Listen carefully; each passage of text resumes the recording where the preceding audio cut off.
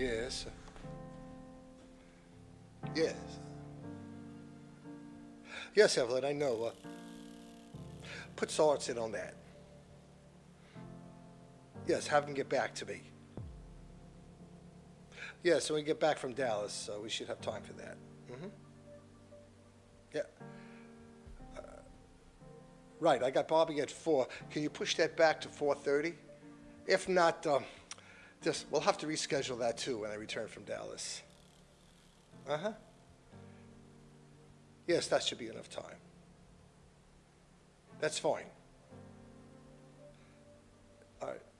Uh, uh, you'll, you- you'll, you'll let me know. He is? Okay, uh, uh, yes, uh, J- Jeff is here now. Uh-huh. Well, um, just send them in, uh, when Jeff comes out. Uh, Mr. President, yeah, hold on, hold him another minute.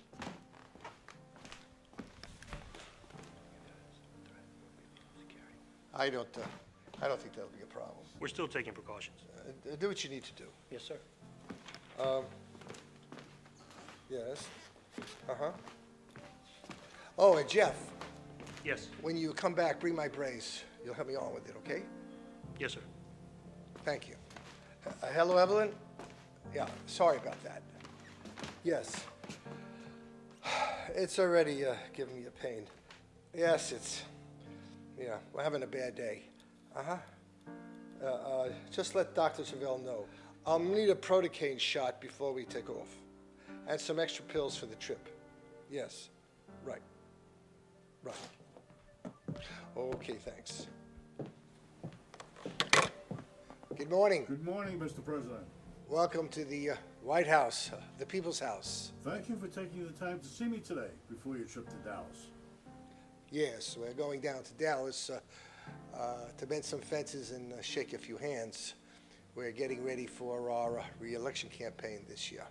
So um, tell me, uh, what kind of interview is this going to be? Well, Mr. President, first off, we are not going to broadcast this interview now. Really? No, sir. We are putting this away for your presidential library, not to be viewed for years, in the hopes that you are free to be more candid. My uh, unvarnished candor. Yes, uh, I can do that. Uh, let's do this.